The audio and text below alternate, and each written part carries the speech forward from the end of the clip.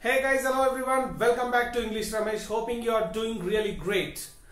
తక్కువ పదాలతో మాట్లాడే ఇంగ్లీష్ అనేది చాలా సూపర్గా ఉంటుంది తక్కువ పదాలతో చాలా ఎక్కువ ఇంగ్లీష్ మాట్లాడినప్పుడు మన లాంగ్వేజ్ అనేది నేటివ్ స్పీకర్స్ లాగా అనిపిస్తుంది సో ఎక్స్ట్రా వర్డ్స్ని కట్ చేసి మన లాంగ్వేజ్ని నేటివ్ లాంగ్వేజ్ లా చాలా సౌండ్ స్టైలిష్గా ఉండే విధంగా ఏ విధంగా మాట్లాడవచ్చు అనేది ఈరోజు క్లాస్లో తెలుసుకునే ప్రయత్నం చేద్దాం This class is going to be really lovely and you're going to be falling in love with this class trust me okay so before getting into the class don't forget to hit the subscribe and click the bell icon మీకు ఇష్టం లేకపోతే మీ friends కైనా channel గురించి చెప్పండి మన ఛానల్కి ఇప్పుడు growth అనేది చాలా చాలా important right so let's get into the class without any delay well ya guys ఇక్కడ ఎక్స్ట్రా వర్డ్స్ మనకి తెలుసో తెలియకో సేమ్ మీనింగ్ ఉన్న పదాలని వెంట వెంటనే యూజ్ చేస్తాం. పక్క పక్కనే యూజ్ చేస్తూ ఉంటాం.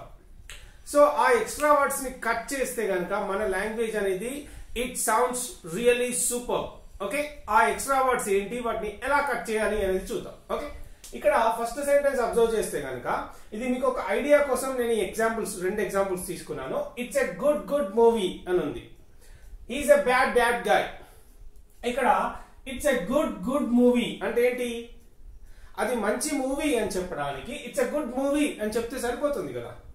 మళ్ళీ అలాగే మంచి అనే మీనింగ్ వచ్చే విధంగా మళ్ళీ సేమ్ మీనింగ్ వచ్చే ఒక పదాన్ని యూజ్ చేయడం అవసరం లేదు. It's a good movie is enough it's a good good movie అనేది రాంగ్ ఐ మీన్ అట్లా చెప్పాం మనం. ఎందుకంటే అది you know extra word unnecessary word అప్పుడు ఏంటి? It's a good movie is right అలాగే he's a bad bad guy ఉంది. అతను బ్యాడ్ గాయ్ అని చెప్పడానికి you know he's a bad guy అనేది ఎనఫ్ మళ్ళీ సేమ్ మీనింగ్ వచ్చేలా ఇంకో ఎక్స్ట్రా పదాన్ని యూజ్ చేయాల్సిన అవసరం లేదు. సో ఇది మీకు ఒక ఐడియా కోసం నేను ఈ రెండు ఎగ్జాంపుల్స్ తీసుకున్నాను. ఓకే? ఇప్పుడు కొన్ని పదాలు చూద్దాం. చాలా ఫ్రీక్వెంట్గా సేమ్ మీనింగ్ వచ్చే వర్డ్స్ని చాలా ఎక్కువ మంది పక్క పక్కనే యూజ్ చేస్తూ ఉంటారు. అలా యూజ్ చేయకుండా ఉండేలా మంచి క్లారిటీ కోసం సూపర్ వర్డ్స్ నేను తీసుకొచ్చాను. Okay? So let's talk about it right ఇక్కడ ఎడిక్వేట్ ఎనఫ్ ఇక్కడ మీనింగ్ ఏంటి అంటే ఎనఫ్ అంటే చాలు ఎడిక్వేట్ అంటే చాలు. రెండింటికి మీనింగ్ సేమ్ కానీ ఎలా ఏ విధంగా యూజ్ చేస్తూ ఉంటారంటే I have adequate enough money అని చెప్తుంటారు.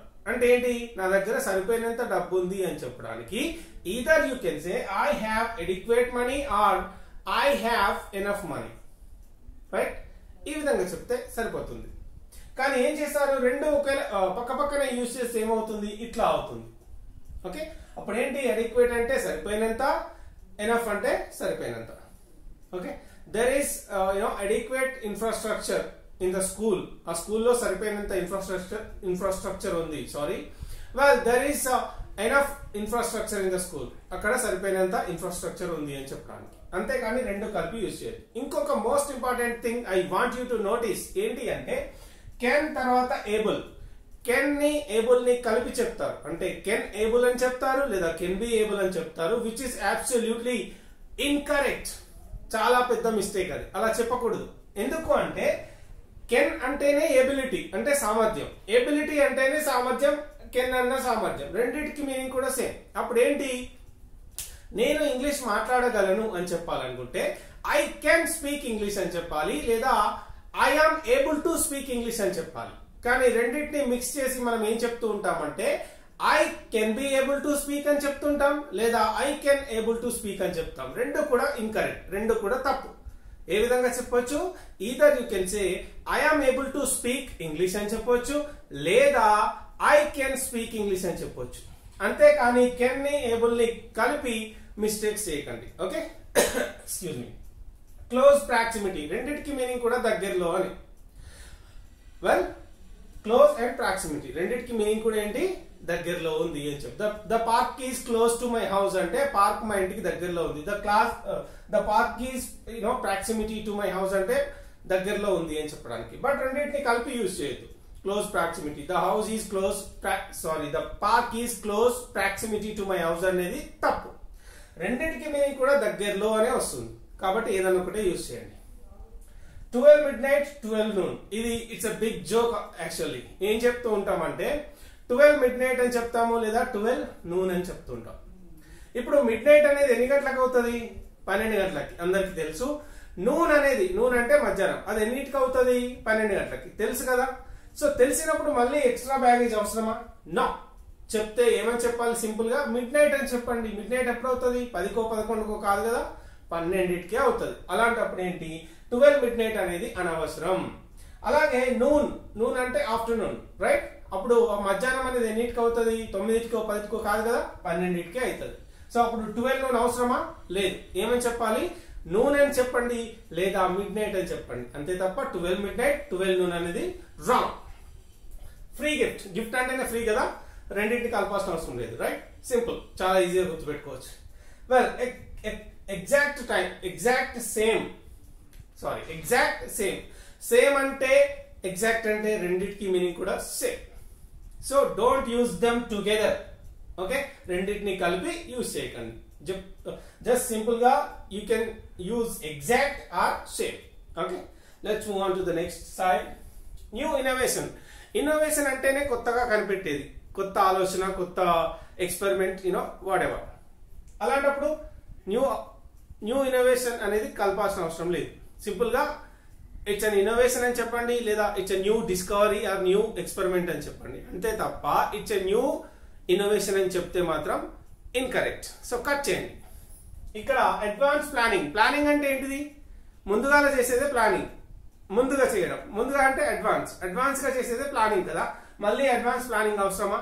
అవసరం లేదు. Right so they are hatching an advanced plan అంటే వాళ్ళు అడ్వాన్స్డ్గా ప్లాన్ చేస్తున్నారు. లేదా they are planning in advance అని చెప్తాం అనుకోండి. అది తప్పు. ఎందుకంటే they are planning or you know they are thinking in advance అని చెప్పవచ్చు ఓకే అంతే తప్ప అడ్వాన్స్ ప్లానింగ్ అనేది together you cannot use so together use చేస్తే it is incorrect right well అలాగే జనరల్ పబ్లిక్ పబ్లిక్ అనేది మామూలుగా జనరల్ అంటేనే పబ్లిక్ అనేటువంటి కాంటెక్స్లో యూజ్ చేస్తూ ఉంటాం. So you can say public general public అనేది అవసరం లేదు. అలాగే ఏటీఎం మిషన్ ఇది కూడా చాలా మంది you know I have seen many students making this mistake ఎట్లా అంటే ఏటీఎం ఇందులో ఎం అంటే స్టాండ్ ఫర్ మిషన్ మళ్ళీ మిషన్ అవసరం లేదు. ఆటోమేటిక్ టెల్లర్ మిషన్ అంటాము ఆటోమేటిక్ టెల్లర్ మిషన్ అంటాము మనకు తెలుసు రైట్ ఏటీఎం అంటేనే machine M stands for machine మళ్ళీ ఏటీఎం మిషన్ అనేది యూజ్ చేస్తే తప్పు. సింపుల్గా ఏటీఎం అని మాత్రమే చెప్పండి. ఓకే అలాగే కేమియో అపీరెన్స్. ప్రత్యేక ఒక ఏమంటారు అంటే ప్రత్యేక పాత్ర సినిమాలో చెప్పాలంటే. ఒక ఐదు నిమిషాలు పది నిమిషాలు కనిపిస్తారు కదా. Well Samantha is doing a cameo appearance in Pushpa పుష్పలో Samantha cameo appearance ఒక చేస్తుంది కేమియో సాంగ్ కావచ్చు లేకుంటే ఏదైనా కావచ్చు. లేదా Ram Charan is doing a cameo appearance in Acharya right అయితే కేమియో అంటేనే ప్రత్యేక పాత్ర అపియరెన్స్ అంటే కూడా అంతే. రెండు కూడా సేమ్. కేమియో అంటే కొద్దిసేపు ఉండిపోయే పాత్ర అపియరెన్స్ అంటే కూడా సేమ్. ఇక్కడ ఏంటి? ఈ రెండింటిని కలపాల్సిన అవసరం లేదు. అప్పుడు మనం సింపుల్గా ఏమని చెప్పొచ్చు? Samantha is doing a cameo in Pushpa అని చెప్పండి. That's it Ram Charan is you know doing cameo in Acharya అని చెప్పండి. అంతే తప్ప కేమియో అపియరెన్స్ అనేది అవసరం లేదు. సో స్పెషల్ అపియరెన్స్ అని చెప్తాం కావాలంటే. ఓకే? స్పెషల్ అపియరెన్స్ అంటే ప్రత్యేక పాత్ర చేస్తుంది అని చెప్తాం తప్ప ఇక్కడ కేమియో అపియరెన్స్ అని రెండు కలపాల్సిన అవసరం లేదు. అలాగే పాస్ట్ ఎక్స్పీరియన్స్ ఎక్స్పీరియన్స్ అనేది ఎప్పుడు వస్తుంది గతంలో? గతంలో నుంచి వచ్చిందానే మనం ఎక్స్పీరియన్స్ అంటాం. సో రెండు కలపాల్సిన అవసరం లేదు. I have a great past experience అని చెప్పే కంటే I have a great experience అంటాము లేదా I have had a bad experience అంటాం తప్ప I have had a bad past experience అని చెప్పాల్సిన అవసరం లేదు. ఎక్స్పీరియన్స్ అంటే ఏంటి? అనుభవం. అనుభవం ఎక్కడి నుంచి వస్తుంది? గతంలో నుంచి వస్తుంది. సో రెండింటిని కలిపి చెప్పాల్సిన అవసరం లేదు. వీటినే ఎక్స్ట్రా వర్డ్స్ అంటాం. ఈ ఎక్స్ట్రా వర్డ్స్ని కట్ చేస్తే మంచి ఎడిటింగ్తో మంచి ఎడిటింగ్ చేస్తే మూవీ ఎట్లా ఉంటుంది? సూపర్ సూపర్ సూపర్ ఫాస్ట్గా వెళ్తుంది కదా? మన ఇంగ్లీష్ కూడా సూపర్ ఫాస్ట్గా వెళ్తూ ఉంటుంది. So keep speaking keep cutting the extra words like this and make your language look really stylish really stunning That's it for now. And it's a bye for now. See you in the next stunning class. Thank you.